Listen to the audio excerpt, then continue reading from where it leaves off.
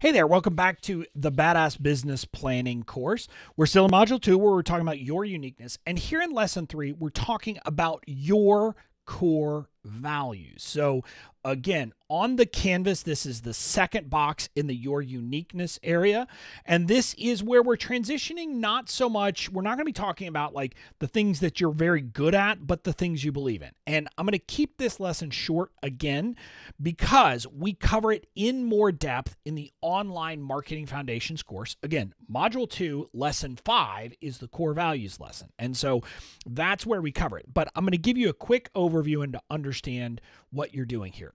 The idea behind the core values is this is about defining the things that you believe in that are kind of your the value based things that will impact how you're going to build and run your business. And so, um, the, the reason why you need to do this in business planning, number one, it will affect how you structure things. It will affect the things that you're willing to do and not willing to do. But also, your values can attract the right customers. So this is where it, it, kind of it's a mix of two things. One, it'll affect how you structure offers, etc., but also it will affect who you are likely to attract because you will attract like-minded people who tend to share your values. So that's what you're looking for here. Now, the types of things that you value, generally speaking, the values will be related to your line of business, but they don't have to be. And so some people, for example, have very political or cultural core values that they bring into their business. Now, that is very polarizing, right? If if you are on one side of the political aisle and you're very open about that, chances are that's going to repel people on the other side. But that's okay because it will actually attract people who have the same viewpoint with you. So you can do those things. There's a lot of brands that have been very open about those kinds of issues.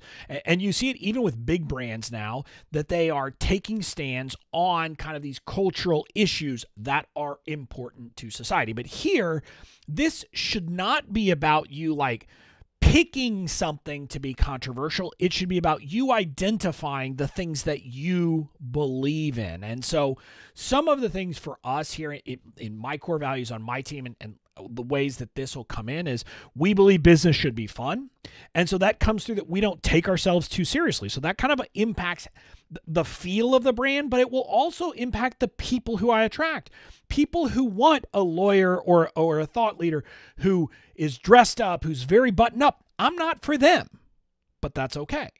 But similarly, another one of our core values is that we are about accessibility and accessibility in every way that we can think of. So some of this has to do with with providing accessibility um, for any kind of uh, disability issues, which is why we tend to have transcripts from the beginning. We've had transcripts, audio, downloads, video. We make it all available because we want people to be able to consume in a way that serves them.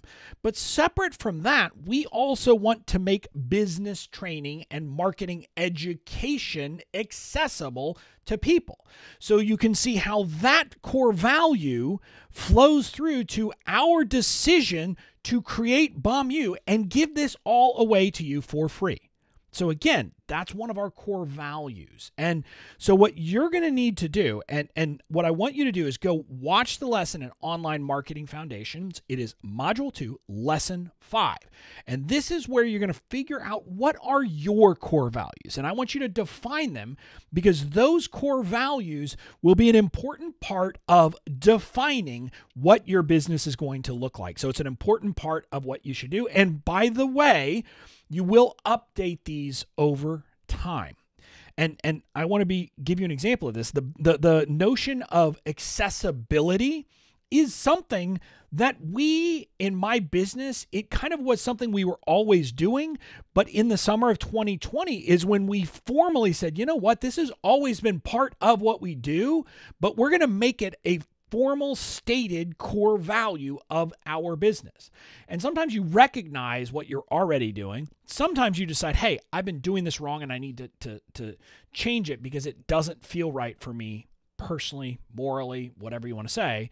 But that's how you're going to come up with your core values. You want to define them so that you know what they are, but then also so that other people know and you can attract people who are likely to to kind of be in line and aligned with your values. So that's the work here for, for defining your core values.